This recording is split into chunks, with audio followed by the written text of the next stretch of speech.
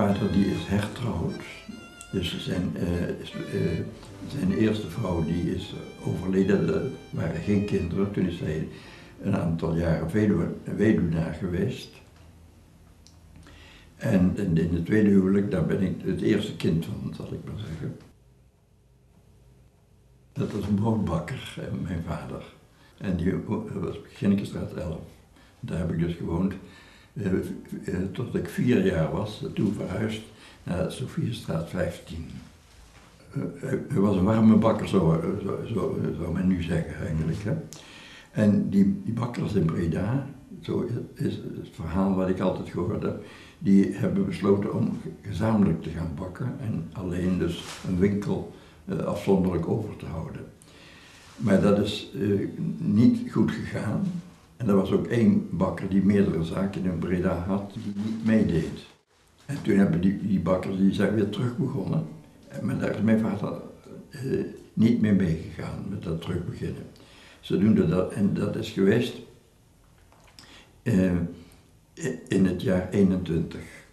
En de, dus toen eh, heeft hij dat huis verkocht aan een banketbakker. En toen heeft hij een huis aangekocht in eh, de Sophiastraat. En dat huis, dat was, een, dat was een groot huis. En dat werd verdeeld in vier gedeelten. En één daarvan bewoonden wij. En de andere gedeelte verhuurden wij. En dat was het, de basis van het inkomen voor het gezin. Dus ik begrijp dat dat heel moeilijk geworden is. Met name in de crisisjaren. Omdat dat bijna niets opleverde. En dat was de enige bron van De enige bron van inkomsten. Vader is in 1931 is hij overleden. 1931. Ik- een gezin met drie kinderen. Mhm. Ja. Nog twee zussen.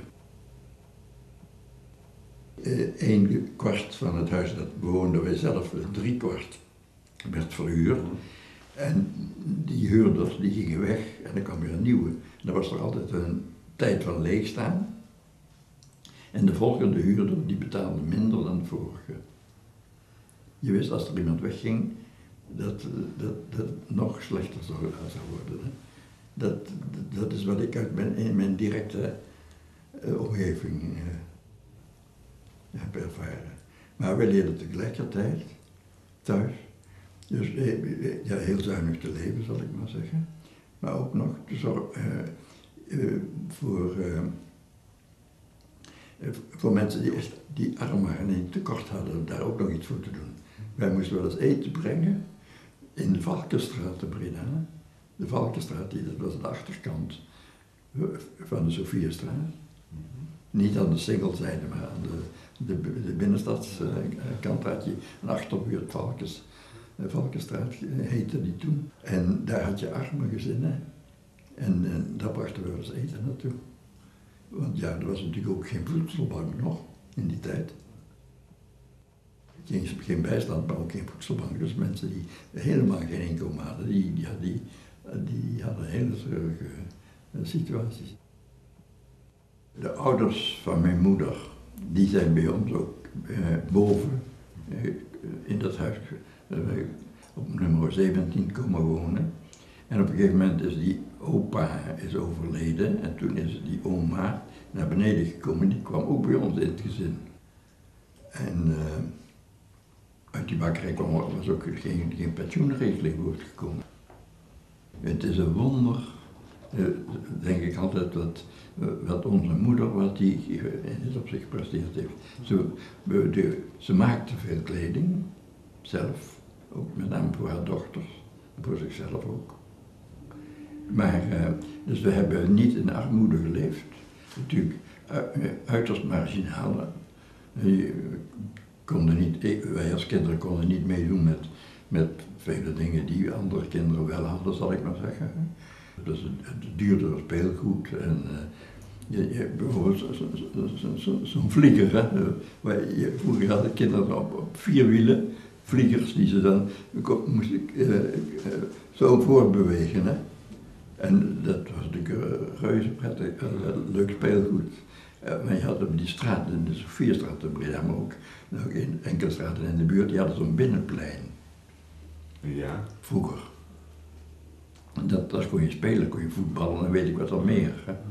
En daar kon je met dit soort wagentjes spelen. Hè. Maar dat, dat, dat was buiten ons bereik, zal ik maar zeggen. Waar zat u op school? Uh, de Sint-Antoine-school in de Sint-Jansstraat. Naast de kerk. Ik was misdienaar ook in de Antoniuskerk.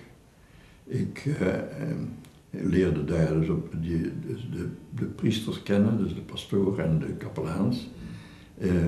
Ze namen mij wel eens mee met, met het werk dat ze deden voor het huisbezoek.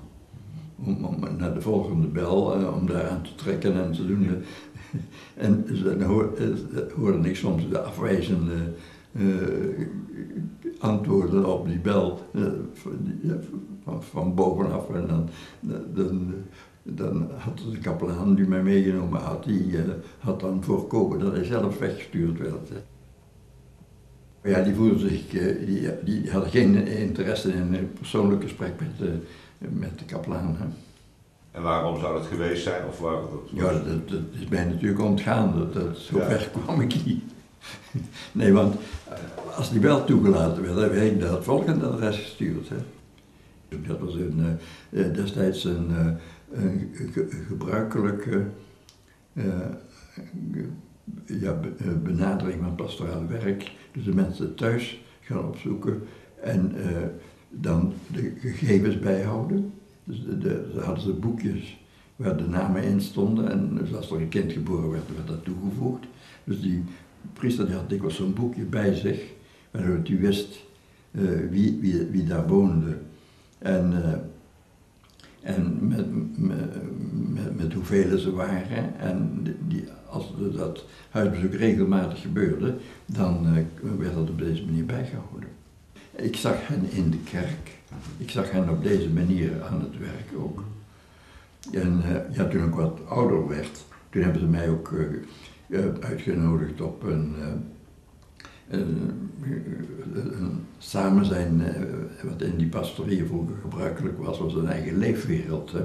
Dus die pastoren en die kaplaans, die, dat was een tehuis ook. En toen ik wat ouder was, daar hielp ik in de, in de vakantietijd, hielp ik de, in, in de administratie van de parochie. Was er elke dag een mis? Ja. School. Ik weet niet meer hoe laat precies dat de school begon. Het zal wel negen uur geweest denk ik. En net dat er geen tijd was om terug naar huis te gaan om een boterham te eten. Want, uh, want je ging ook als kind te als mensen naar de communie, dus je moest nuchter, nuchter naar de kerk gaan. Dan, dan bleef ik een boterham eten bij de, koster, die daar ook in die Sint-Janstraat woonde, die had daar een winkel. En uh, op die manier, ja. Dus ik had een, kinderlijk verlangen, zal ik maar zeggen, toen ik kind was, om, om priester te worden. Ik had eh, op deze manier aanraking met dat, de gang van zaken in het, eh, het, het, het leven van de, de priester van het bisdom. Ik herinner mij dus dat de, mis, uh, met kerstmis, de nachtmis, die was s morgens om vijf uur. En dan liep, gingen wij als gezin dus door Valkenberg heen, gingen wij naar de kerk toe. Dat was, uh, dat was een maatregel van bischop Hopmans. En die wilde niet dat het in de nacht was. Ik denk dat hij uh, uh, bang was voor misbruiken à la Antwerpen. Dat daarna naar het café gingen. Hè. Ja, kijk, Breda was helemaal georiënteerd op Antwerpen. Hè. Vroeger. Mijn vader bijvoorbeeld, heeft de bakkersvak in Antwerpen geleerd. Mijn oma, de moeder van mijn moeder, die, is een, die heeft huishoudelijke hulp gedaan toen ze een jong meisje was in Antwerpen. Dat, ja, Breda, dat, dat was een stad, dat was Antwerpen, hè. De grote stad. Zuidelijk georiënteerd. Hè mentaal was het dichter bij elkaar. Hè. Kijk, uh, ja, Brabant uh, heeft natuurlijk een aparte situatie verkeerd. Hè. Is, is, is 2,5 eeuw is dat toegevoegd geweest aan de zeven provinciën, maar, maar, niet op gelijke voet. Brabant had een, ja, tweede rangspositie in, in de Nederlandse samenleving. En je voelde zich veel meer verwant met, uh, met uh, Antwerpen uit hetzelfde Brabant. Heeft u dat zelf ook nog gevoeld, die verwantschap? Uh, ja, dus dat, dat de mensen in het noorden, die, als toen je ze later leerde kennen, die toch anders waren dan, dan, dan, dan wij hè? in het zuiden.